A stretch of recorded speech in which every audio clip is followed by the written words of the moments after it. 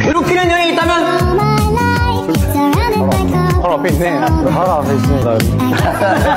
유빈이 형. 내가 널 언제 괴롭혔어? 하루 종일 얼굴을 만집니다. 아, 유빈이 형.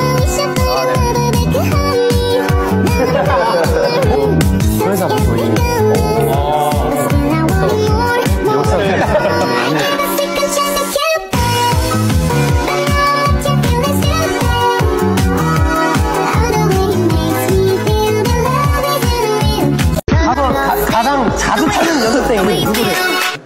젠제. 진짜. 음. 진짜 아니에요.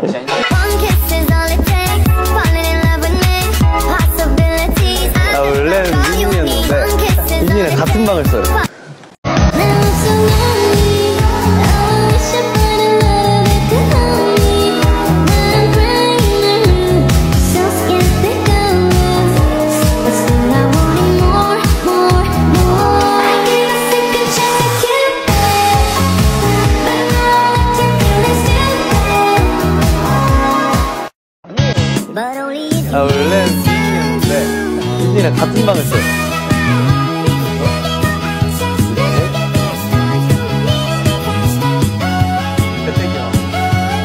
나 원래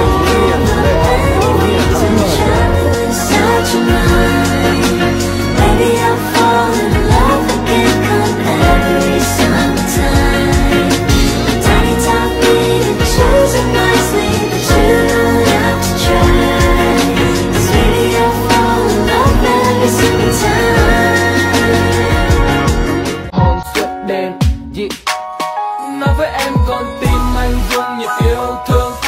Đôi chân anh sẽ đi kiếm em dù mọi phương mọi